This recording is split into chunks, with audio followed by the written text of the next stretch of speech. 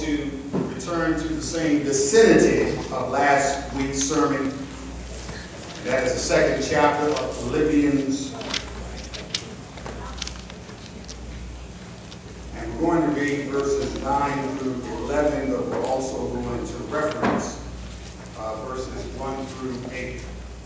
Scripture reading will be verses 9 through 11. So you have to say amen. Amen.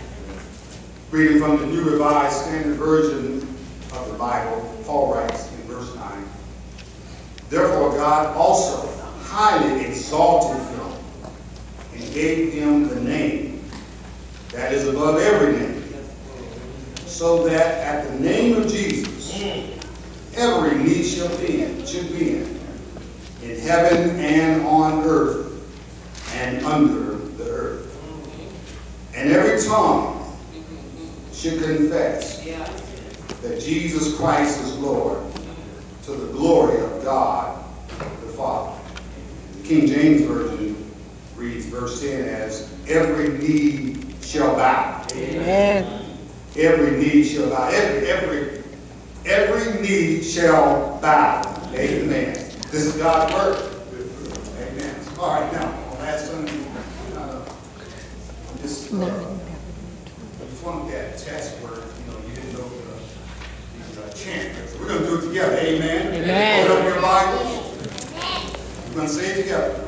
This is God's Word. I I believe believe it. it. I receive it. I decree it. God's word is a lamp to my feet and a light to my path. In Jesus' name, amen. Amen. God bless you. You may be seated. And thank you, Ursula. You may be seated in God's presence. My little sister in the back, I forgot her name, the co-camera operator, she recited the uh, Bible chant in the back when I got here this morning. So she's a, a y'all. So you need to catch up with her. There you go. Raise, raise, raise your hand, your sister. There you go. She knows it by heart. She chanted it this morning. Amen. Amen. This is God's word. I believe it. I receive it. I decree it. God's word is a lamp unto my feet and a light unto my path. In Jesus' name. Amen. Today, I want to just challenge you for just a few minutes here. This is a 10-minute homily. Amen. All right. A 10-minute sermon. Uh, If I get some amen. Amen. Amen. I got one right there. Amen. There are no amens, and that's for a 30-minute version. I know y'all trying to watch some Calvin. Amen. The question that I want to pose in light of what the national discussion has been for the past couple of weeks here is this question, will you take a knee for Christ? Will you take a knee for Christ? I think I'm wading, I think I just said something there. I'm wading into some, some much talked about and some heated uh, controversy Yeah, yeah, yeah. that has been brewing in our country for the past two weeks. Amen. Amen. Uh, when Brother Colin Kaepernick You're you're right. uh, uh, uh, decided to take a knee for justice right. and to bring attention to the fact that that, that, that police brutality still exists in our country. Amen. More than 200 years after the Emancipation Proclamation, uh, more than a few years after Dr. King, Dr. Abernathy, and others marched in the streets demanding the end of segregation, we are still dealing with some issues in our community. And, and, and Colin Kaepernick took a knee Yeah, yeah. really began it last year. It wasn't just this year. In fact, the, the whole issue was really about to blow over. Right. Much attention really was not being paid to what Kaepernick was doing right. Until, until our mouth in chief. Yes, sir. Oh, I'm sorry, I'm sorry. Until our president Amen. decided to blow it up and refer to our black athletes as so be it. You're right. You're right. Some people say they're dealing with fight words. The president's remarks have fueled backlash and additional resistance from more players in multiple sports. Yes. In the larger conversation of Kaepernick's well-known kneeling, the point of hostility has been with many people seeing his protest as an act of defiance towards the U.S. flag, the anthem, the military, and the U.S. as a country in its entirety. But I say today, my friends, that Colin uh, Kaepernick has raised an issue of the church and, and, and faith community, we can borrow a page from. All right. All right. Because if Kaepernick can take a need for, for justice, Yeah, yeah. the question is juxtaposed against what we do as believers. Can we take a need for Christ? You see, that's, that's the question today. Need for Christ is, is, is what we want to answer to, to today. And, and I think this, this passage gives us insight to the answer to this question because whenever you see in verse 9, as we look at whether there is a relationship between what Kaepernick is doing for uh, in, in football, what we can do in the church community, you have to look at verse 9 and ask the question, whenever you see the, the word therefore, you have to ask, what is it there for?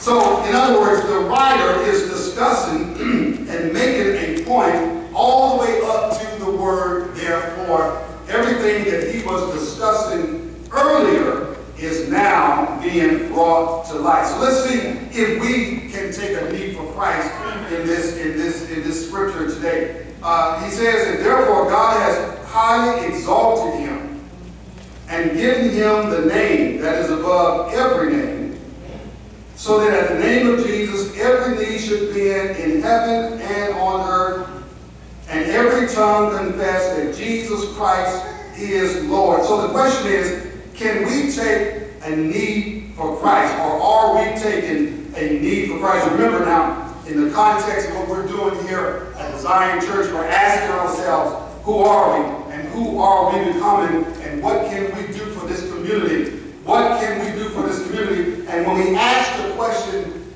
can we take a need for Christ, or have we taken a need for Christ? It really is another way of asking, are we willing to become a servant church? All right. Are we really willing to become a servant church? Are we willing to take a need for Christ? Means, are we willing to become servants of the kingdom of God? Because if you look at it, if you look at it, Christ took a need for us. Right. Yes, Christ took a knee for, for us. And, and, and Paul lists how Christ took a knee for us. In verses six, six through 8, he says that Christ emptied himself.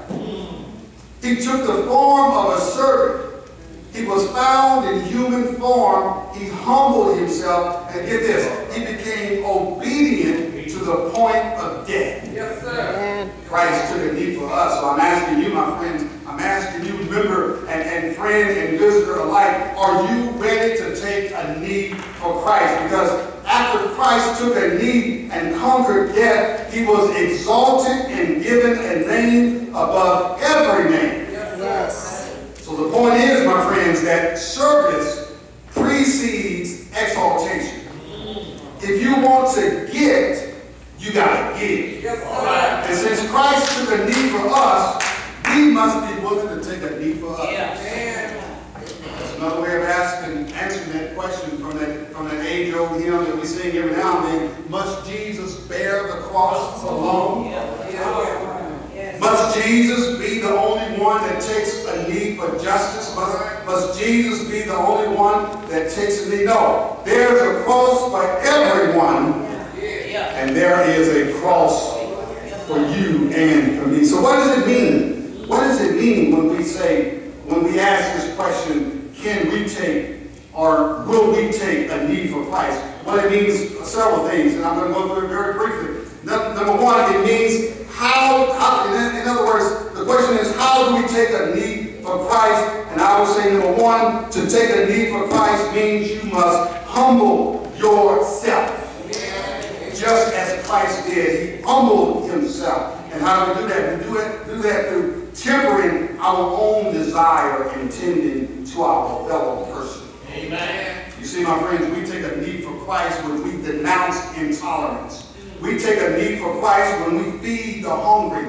We take a need for Christ when we care for the orphan and the widow. We take a need for Christ when we stand up against racism and speak truth to power. All right. All right. Are you willing to take a need for Christ?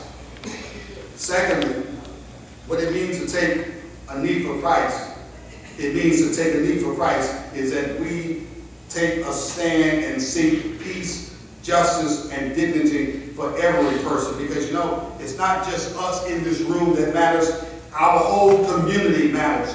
What we do here means that what leads to what we are going to do in the community. If we are going to make a difference, we must be willing to stand for peace, justice, and dignity for every person. Not just in the African American community, but in every community that is that is touched by the adverse effects of racism and injustice, we must take a stand. If we don't, we are bereft of our goal and our ministry in Christ. And then lastly, as I take my seat, not only uh, does it mean that we humble ourselves and we take a stand and, and stand and seek peace, justice, and, and dignity, but lastly, it means to take, when we take a knee for Christ, it means that we must place substance above symbol. You see, we honor our servicemen and women, especially in this congregation who, who have served our country. But it is not about serving our country. It is about serving and doing God's will. Amen. Jesus did not stand for symbolism. That's right. He was not into honoring symbolism. Jesus stood for peace and justice. Yeah. He stood for those who were who were traumatized system of their day, and we must do likewise because it is our biblical mandate to do so. Amen. You don't believe me? Look over in Galatians 5 and 13 when Paul writes, You were called to be free, but do not use your freedom to indulge the flesh, but rather serve one another humbly in love. Yeah. Then I hear Jesus in Matthew 23 11 and saying the same things. Jesus says, The greatest among you will be your servant. Amen. If you want to be on top, you got to start at the bottom. If you want to be exalted, you must give service.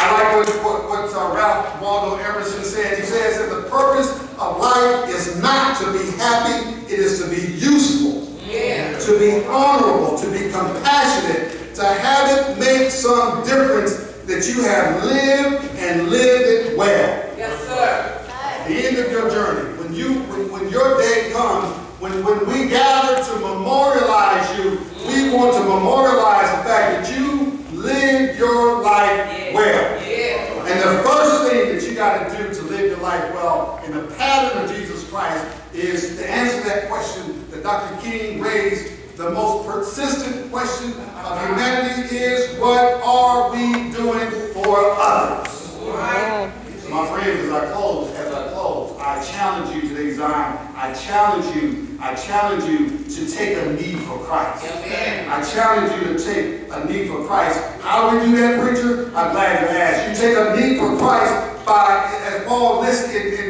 in the second chapter, first five verses, he says, to be of the same mind, number one. Having the same love. Being of full accord. Do nothing from selfish ambition to regard others better than yourself. Look not to your own interest. And most of all, let this mind be in you that was in Christ Jesus.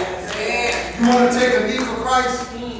Let this mind Yeah. be in you yeah. that was in Christ Jesus. You see a, a, an acronym that was popular several years ago. They wore the bandanas and the bracelets, and it says, "What would Jesus do?" Yeah. Yeah. Yeah. What would Jesus do? And we need to get back to asking that question, what would Jesus do? And answer that question